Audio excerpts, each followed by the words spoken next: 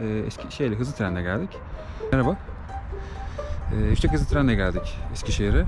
Bu ben rezervasyon yaptırma veya bilet alma aşamalarını biraz anlatmak istiyorum. Ben e, ebatlara biraz büyük bir adamım. E, Espark gibi bir şey vardı galiba. Bilgi vermek istiyorum. Verebilirim. Falan filan.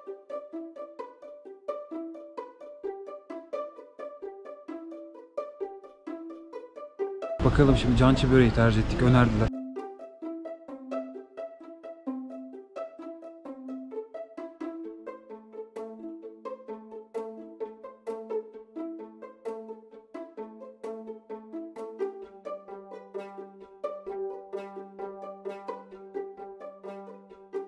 Odun pazarındaki Aytan Usta'ya geldik.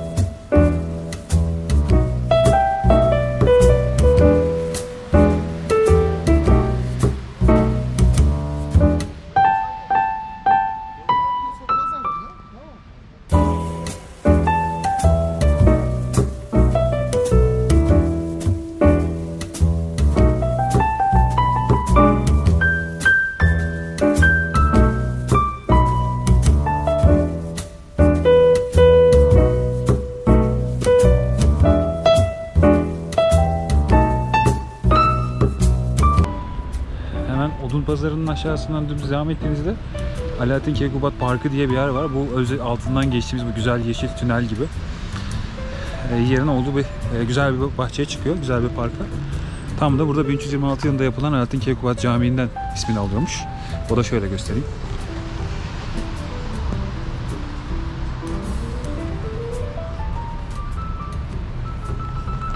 İnanılmaz güzel bir kar yağıyor tabii ki de. Hava da çok güzel, tertemiz. Çıkıp çıkıp bence gelin çok güzel hava.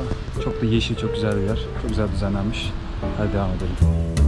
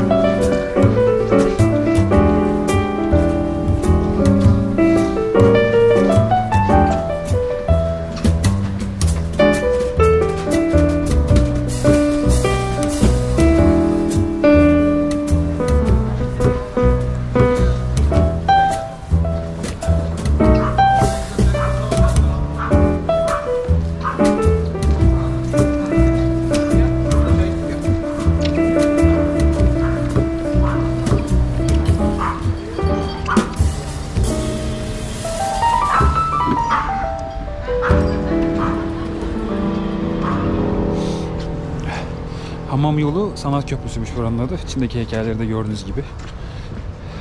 Gayet hoş, çok güzel bir şehrin tam ortasında. Çok güzel bir estetik katmış şehrin genel yapısına. Hem de böyle ufak soğuk zamanlarda içerisinden geçerek böyle hem birkaç heykele bakıp hem de biraz ısınma imkanı buluyorsun falan. Çok hoş, ışıklandırması falan da çok hoş.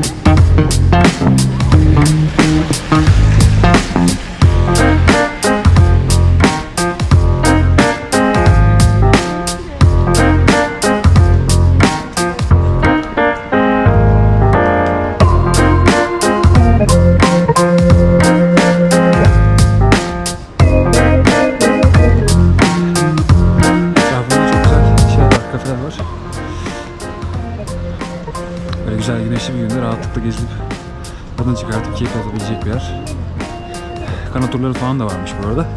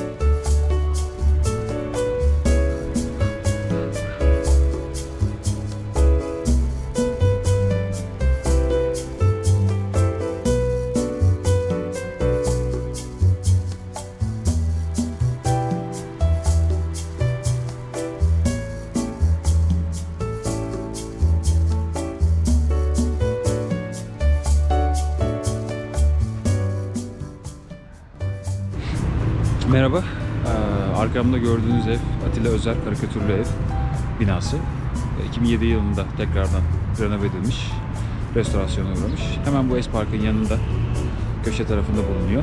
Ee, Şehrin merkezine çok yakın. Ee, Şu an içeride bir sergi hazırlığı olduğu için içeri gösteremiyorum ama e, çok güzel bir alana sahip, önde yeşilliğe sahip ve e, hemen girişinde güzel heykeller bulunan çok hoş bir yer olmuş. Ee, gelip gezilebilir. Ee, şu an için herhangi bir bilgi veremiyorum içerisinde. Girişi, çıkışı ve biletiyle ilgili. Ama e, görünce e, videolaştırmaktan alıkoyamadım kendimi. Şimdi diğer yerlere bakalım. Ee, şu toplu taşıma kullanımı için birkaç bilgi vermek isterim. Ee, toplu taşıma e, böyle bir eskart alabiliyorsunuz. E, eskartın ücreti, boş eskart ücreti 10 TL. E, tam kullanımlar için 3 TL ücret, e, en dibin ücreti alınıyor. E, öğrenciler için de 1.80. E, gidip köşede herhangi bir e, tramvayın köşesinde yakın konumlandırılmış e, eskart e, dolum yerleri var. Görürsün zaten yeşil bir binaya sahip küçük kulübe gibi. Oradan gidip böyle boş bir eskart edinip içerisine e, gideceğiniz yol kadarının yüklemesini yapıp rahatlıkla şehrin her yerine e, tramvay aracılığıyla e, gidip gelinebiliyor. E, tramvaylar da çok rahat. E, takribi 7-8 dakikada bir geliyorlar. E, kullanılabilir ve çok rahat bir ulaşım sağlanabilir. E, bu da bilginize olsun.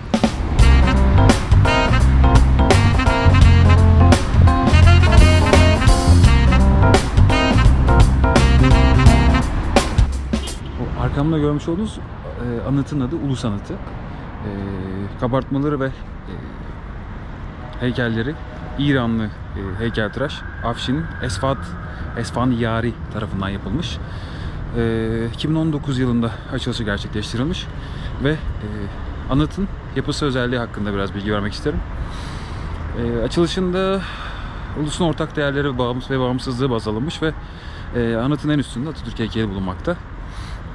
Aynı zamanda Cumhuriyet sonrası eğitim, bilim ve teknoloji gibi alanlardaki faaliyetleri modern Türkiye ile birleştirmekte ilk kademesi. İlk kademesinde ise Türk Kurtuluş Savaşı'nı ifade etmekte ve anıtın yer hafızası, yer hizasında olan kısmında ise Cumhuriyet öncesi dönemi temsil eden dört tarafa bakan at üzerindeki Türk büyükleri temsil bulunmaktadır. Ee, içeriği böyleydi. Ben çok beğendim açıkçası. Tam e, yolun kesişme noktasında e, birden karşısına çıkıyor ve çok heybetli bir yapı olduğunu düşünüyorum. Çok hoşuma gitti. Ellerinize sağlık. Çok kıymetli bir katma değer olmuş. E, şimdi gezmeye tekrardan devam edelim.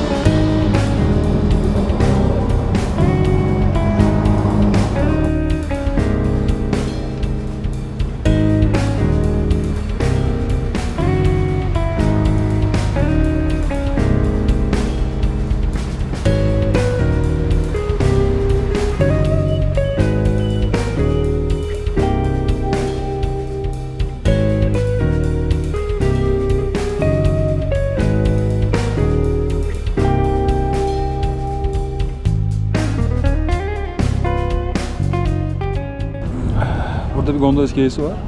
Ee, şu ileride görmüş olduğunuz e, gondollarla, daha doğrusu gondola değil de otur yapılan bir e, durum, bir yer, bir şey falan.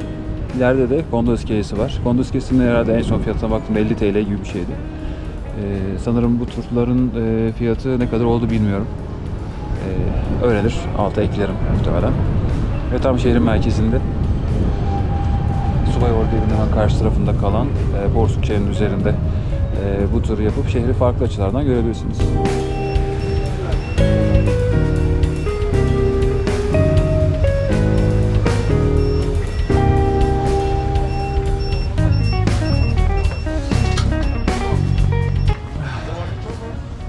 Şimdi biraz böyle şehri farklı açılardan deneyimlemek için şöyle güzel bir tekne turu gibi bir şey var. Onu deneyimleyeceğiz herhalde.